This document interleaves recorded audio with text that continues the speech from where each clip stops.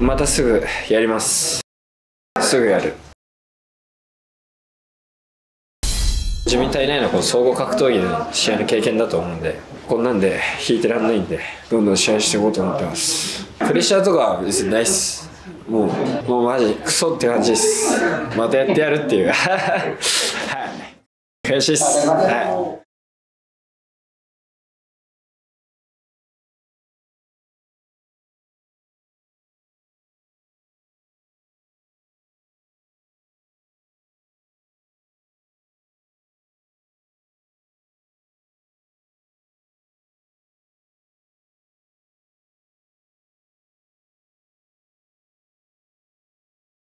クレベルをやっぱりこう倒したいなっていうか俺しかやっぱ倒せるやつはいないんじゃないかなって思うんで。